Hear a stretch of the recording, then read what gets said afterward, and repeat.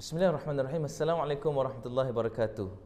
Tuan-tuan, alhamdulillah baru-baru ni kerajaan dah bagi kebenaran kepada kita untuk keluarkan 10,000 one off daripada akaun KWSP kita.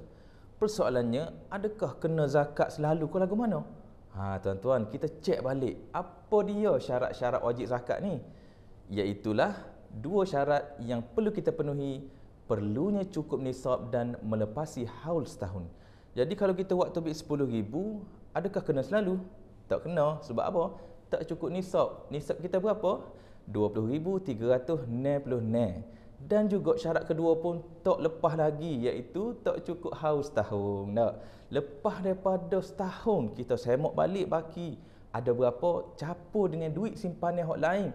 Kalau lebih nisab ketika tu baru dikenakan zakat sebanyak berapa? 2.5%. Tuan-tuan, bayar zakat harta berkat.